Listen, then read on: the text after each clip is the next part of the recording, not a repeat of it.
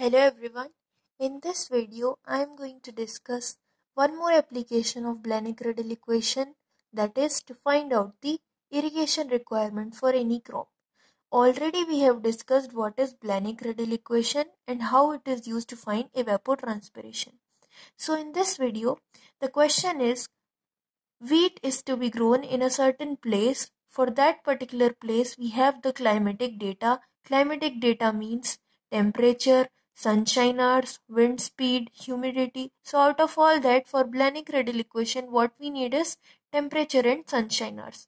So for 4 months that is from November to January sorry November to February we have temperature, sunshine hours and effective rainfall.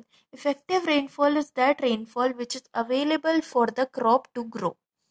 Uh, excluding all the losses that is infiltration, evaporation and runoff. So excluding that whatever is available that is our effective rainfall. In this question we have to determine what is the evapotranspiration, what is the consumptive irrigation requirement and what is the field irrigation requirement if the water application efficiency is 80%. Also it is given that the crop factor is 0.8.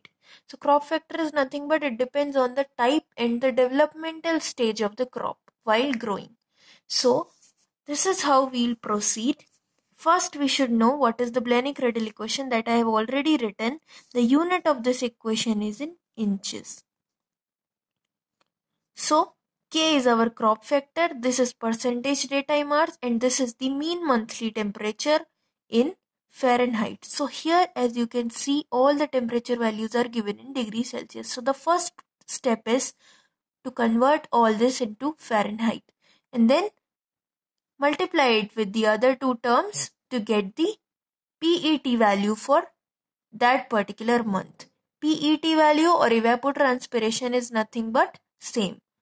So we'll quickly calculate evapotranspiration for all the 4 months. So here as you can see I have done the calculation.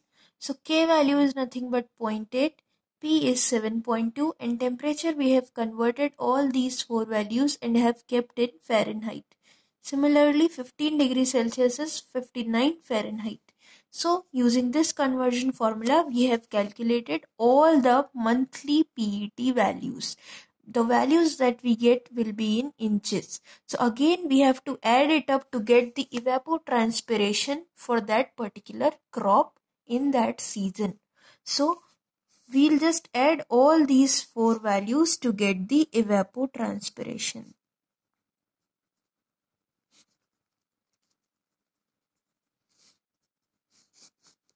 Adding all the values and converting them into inches from inches to centimeter we'll get the value as 34.727 centimeter. We simply will add all these four values whatever answer we are getting that will be in inches and then we'll convert it into centimeters. So this is what we are going to get. So this is the first part of this question. The next part is what is the consumptive irrigation requirement? So before we move to the consumptive irrigation requirement we should know what is this consumptive use requirement. So consumptive use is nothing but how much amount of water is used by a plant for its growth? And how much extra water we have to supply extra in the sense in addition to rainfall how much we need to supply from our end by any method of irrigation be it from tube well be it from canal be it drip irrigation. So whatever way you supply this extra water to meet the consumptive use that is called your consumptive irrigation requirement. So here in this question already we know the useful rainfall useful or the effective rainfall is the same thing means suppose I have a field I have a crop in that that crop needs 10 centimeter of water every day now to give that crop 10 centimeter of water i should supply 10 centimeter of water but already some rainfall is occurring in that area which is 5 centimeter and all of that rainfall is useful for the plant excluding all the losses.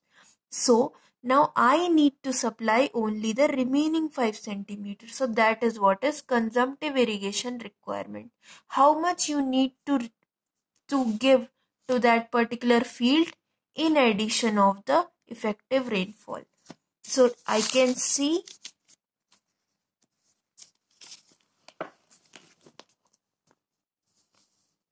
I can write consumptive irrigation requirement will be what is my consumptive use minus what is my effective rainfall. I can write it as RE or P effective. Okay, so suppose here I got 34.7 centimeter as my consumptive use. Consumptive use is nothing but evapotranspiration which I got here so that is my evapotranspiration for that season. Similarly, I will calculate what is my total effective rainfall.